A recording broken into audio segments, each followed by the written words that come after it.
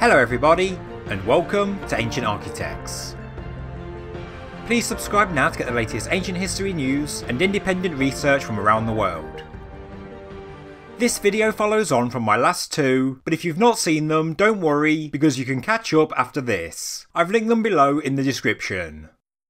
To give you a very brief synopsis, I presented evidence and theory that the Pyramid of Djoser is built over an ancient First Dynasty well, with the whole temple complex being an ancient waterworks. This idea led me to the Famine Stela, an ancient Ptolemaic document that may be based on an old 3rd Dynasty source, and it says that the builder of the Step Pyramid of Djoser, a man named Imhotep, visited Elephantine Island, where he is said to have learned all about minerals and stone for building temples and rebuilding ruins. Elephantine Island was once home to a major temple of Khnum, the creator deity, but the island has a history that spans the entirety of dynastic history, all the way from pre-dynastic times to Roman, and then into the Jewish, Muslim and Christian eras of history. On the island, as well as ancient temples, there is a pyramid, which is completely made of granite, the only pure granite pyramid in Egypt, it is 3rd Dynasty at the very latest, but there is reason to think it predates the 3rd Dynasty. I claim that this pyramid, and the knowledge of the inhabitants of Elephantine Island, is what inspired pyramid building in Saqqara, Dashur, and Giza.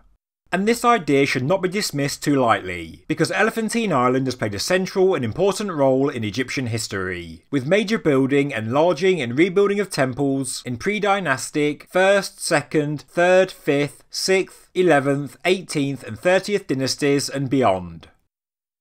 So, as a line of inquiry by me, as an independent researcher, I wanted to look at this place in more detail. Could this be the source of sacred knowledge of the pyramid builders of the 3rd and 4th dynasties? Could the Elephantine Pyramid be the inspiration for not just the Step Pyramid of Djoser, but the others as well? Let's take a closer look. When researching ancient Egypt, there are no end of resources, websites, and books on famous sites such as Giza, Saqqara, the Valley of the Kings, and so on, whilst Elephantine Island goes somewhat neglected.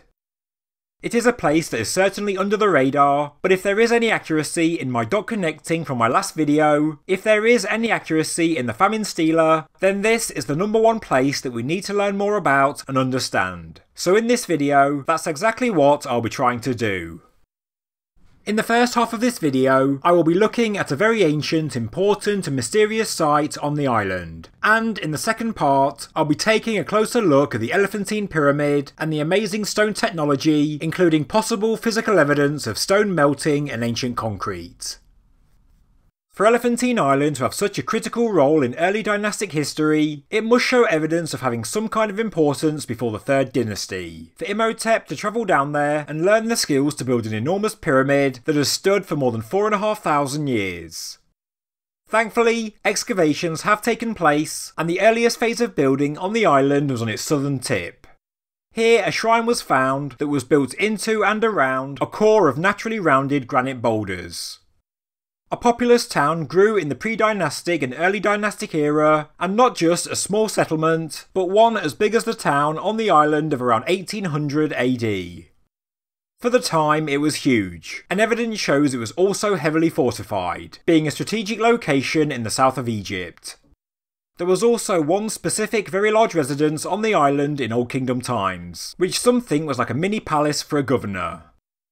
Probably the most interesting bit for me is the shrine, discovered in 1972 and located on the north side of the Old Kingdom settlement. And because there are huge natural boulders around it, later phases of development in the Middle and New Kingdoms simply filled in the shrine and paved over it and the boulders to create a flat platform for building.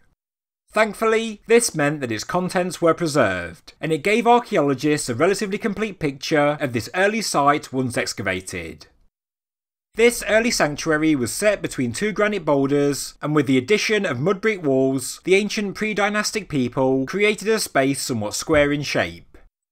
There must have been an object of veneration placed here, but it has since been moved or lost, and there are no clues as to what was there. Here is the position of the specific shrine, and we know that at least two mud brick rooms protected it, which was further protected by thicker mud brick walls that created a courtyard or roofed hall. This stood from pre-dynastic times, possibly around 3200 BC, and throughout early dynastic history. In fact, it remained throughout the entirety of the Old Kingdom, all the way up to the 11th dynasty and the end of the First Intermediate period. That means it survived for six centuries. Throughout this time, the walls surrounding the shrine did get thicker, and maybe in the 5th or 6th dynasties, a pedestal was also added, which was around 1 metre square and flanked by wooden poles against each corner. It stood in the centre of the hall that contained the niche, as shown here. The pedestal is made of courses of brick, separated by layers of matting for extra strength. Experts think this was a canopied podium to support a portable divine image. Compared to the amazing structures to the north of the country, such as the pyramids of Giza and Saqqara, this shrine or temple looks somewhat primal. Even the hundreds of votive offerings that were found here differ from the somewhat formal theology of the rest of Egypt, that being the traditional imagery that we see decorating tombs and temples.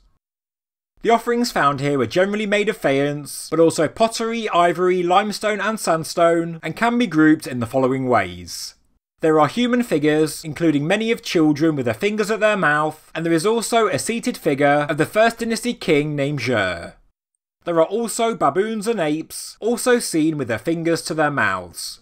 There are also animals including birds, frogs, crocodiles, lions, pigs, hippos, cats, and hedgehogs. There are also these oval faience plaques with the head of a hedgehog at one end. The experts call them hedgehog ships, but it is still unknown as to what they symbolise. There are also other finds, such as natural flint pebbles of curious and bizarre shapes, flint knives, model pots, beads, tiles, and so on. Some of these objects seem to date back to the 6th dynasty, as the names of King Pepi I and II are found on some of them, and the only inscriptions in the shrine also date to the 6th dynasty, marked A and B on this diagram but we know that the shrine does date to much earlier, as there are a series of stratified layers that span the first six dynasties, all of which brought forth finds including pre-dynastic pottery at the base.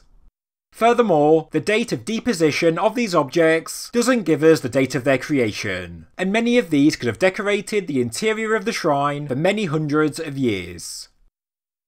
The objects are strange because they don't specifically relate to the cult deities that we know were worshipped on the island, namely Khnum, Anuket, and Satis, also known as Satet. It seems to be totally independent, hidden from the masses in a concealed shrine, but a shrine that had importance for 600 years, and as we shall see, it was also important in the New Kingdom.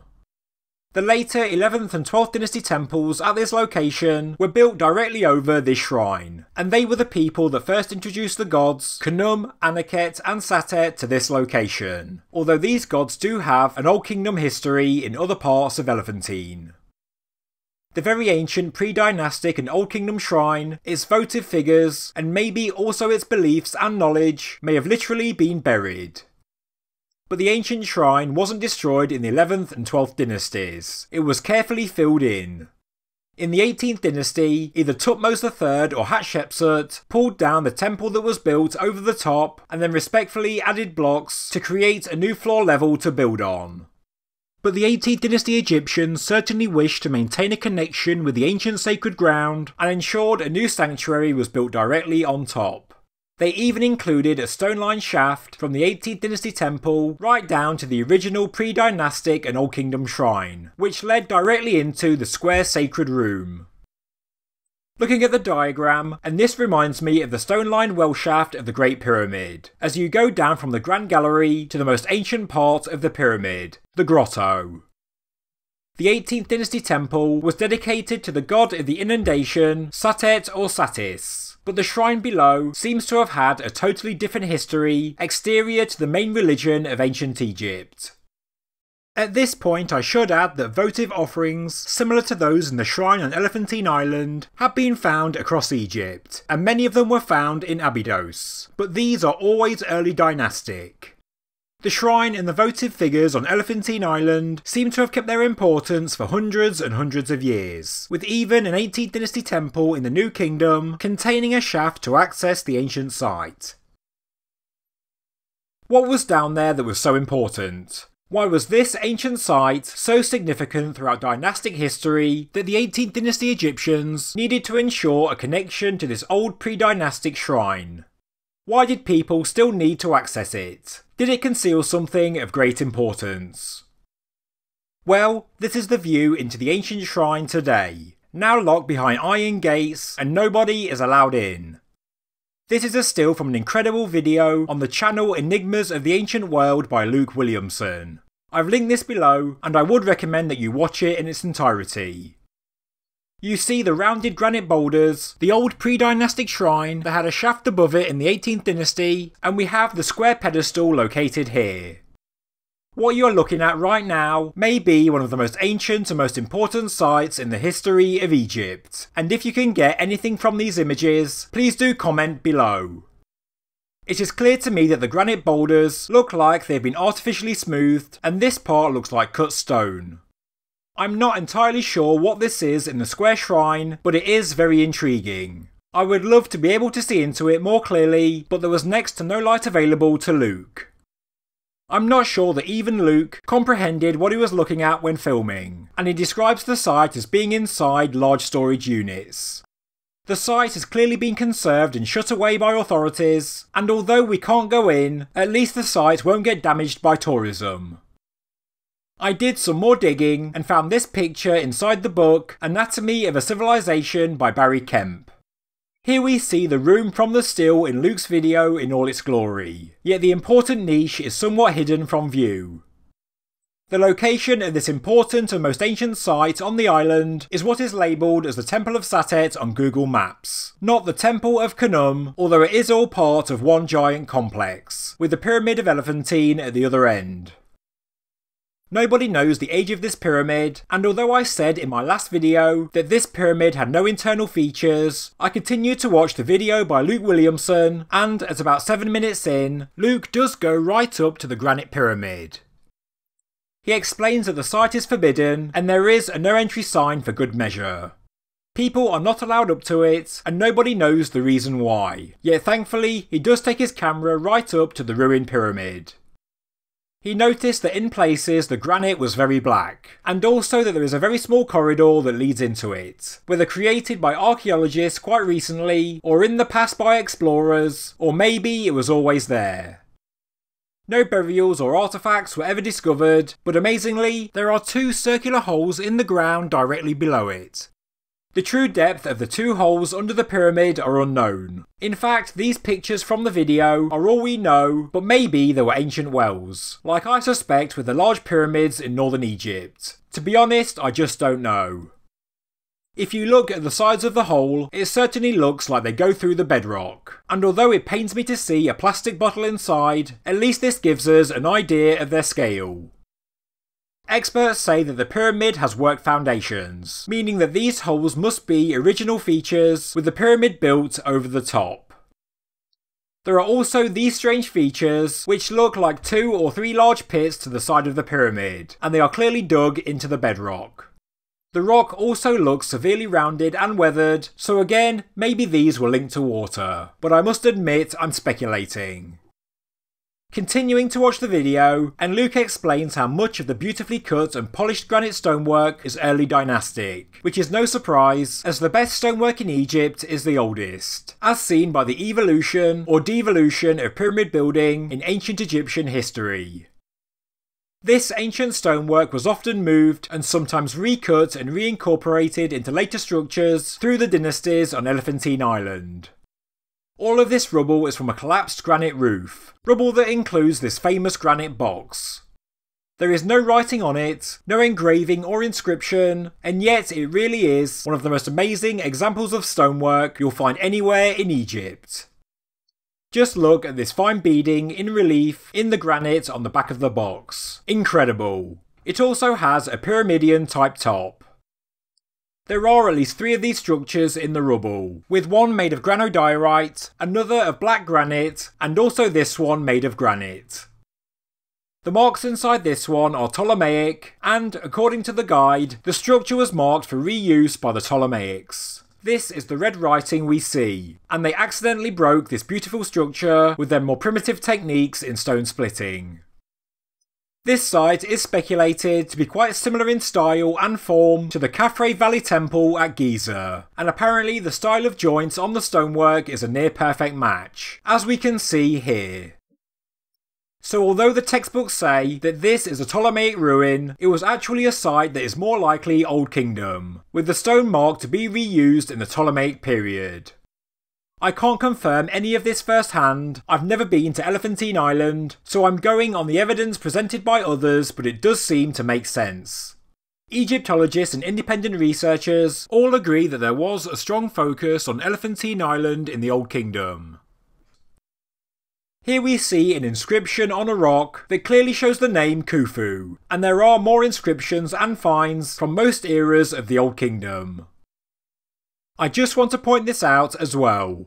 As Luke says in his video, the guide touches this stone, but the guide doesn't explain it. He merely points it out. Luke does provide a few photographs, and it looks like blocks of granite embedded in a stone, like rudimentary concrete, or are the blocks melted into the stone? I don't know, but it's certainly curious. Luke also shows blocks of igneous rock that are highly polished and almost glassy to the touch. This specific ruin on the island displays the very best stonework, and whether you believe the conventional timeline of dynastic history or not, this work was surely done by the people who came before or at the same time as the pyramids of Giza. Remember, it is claimed that Imhotep came to Elephantine Island to learn the secrets of building with stone, and then built the Step Pyramid at Saqqara. The granite stonework at this site, the ancient shrine, and the granite pyramid are three key features of Elephantine Island that may hold the secrets we are looking for. I think that Elephantine Island held the key knowledge of stoneworking, and I think that the knowledge of some kind of object was kept in this shrine. And the reason why Elephantine was so special in ancient Egypt is because it was a very unique location. Its culture was like a unique blend of Nubia and Egypt, as seen in everyday things like storage vessels, which show clear dual heritage styles and characters. Also, at the same time as the ancient shrine was used, the burials on Elephantine Island were also incredibly unique. In one tomb discovered in 2005, and like many other early burials on the island, there was found the head of the deceased placed upon a heap of barley grains. This style of burial was totally unique in pre-dynastic or early dynastic history. Some speculate that this was the early Egyptian and Nubian cultures mixing practices, or it could be that this was simply a unique early culture, independent from both Egypt and Nubia. The key to understanding how the Egyptians built megalithic, precise, and perfect monuments is, in my opinion, Elephantine Island. And if you don't believe me, I want to finish with this block of granite. Now, I studied geology for four years at university, and I have a very hard time explaining what I'm looking at. Now, it could be an unconformity where one sedimentary rock is laid onto another older rock surface. It could be a vein where fluid has run through one rock type and crystallised out as another. Both are common in the geological record, but looking at the cross section view, as circled here, and this dark colour looks to only cover the top part of the granite. The granite remains underneath. Again, there could be some geologic or metamorphic explanation where it underwent heat and pressure millions of years ago, but because of the examples of impossible stonework close by, whatever happened here, whether melting of some kind, it may well be man-made. But how? Maybe with acid as I once hypothesised. Looking at this view, and there is no dark colour on this granite, but there is over here. And interestingly, Luke explains that this is the location of an ancient granite quarry, so maybe what we are looking at is an example of the technology used to extract granite from the bedrock. A technology that maybe Imhotep learned from the island. Like always, I've got so much more to say for future videos. For a start, there was a great library on ancient Elephantine, and unlike the one at Alexandria, a large number of the texts have been kept and preserved, and amazingly, the vast majority are yet to be translated, remaining in a number of university libraries around the world. There are at least 175 documents written in seven different languages. I'll mention these in a coming video, and the fact that many come from the later Jewish settlement on the island. These settlers who came to Elephantine Island around 750 BC built a temple identical in size and shape to the Temple of Solomon and even made it from the same type of stone. Furthermore, through his research, Graham Hancock believes the Ark of the Covenant left Jerusalem around 650 BC and it was taken to Elephantine Island, and was kept inside this Jewish temple until around 400 BC, when the temple was destroyed. From there, the ark went south to Ethiopia. So, as you can see, the importance of Elephantine Island even transcends the ancient Egyptian culture, and what I presented in these past two videos really is the tip of the iceberg. I have a lot more to present in future videos, and I'm also trying to get hold of archaeological papers from the 70s and 80s, which actually is not as easy as I'd hoped, but I am trying. Thank you very much for watching this episode of Ancient Architects. If you enjoyed the video, please subscribe to the channel, please like the video, and please leave a comment below. Thank you very much.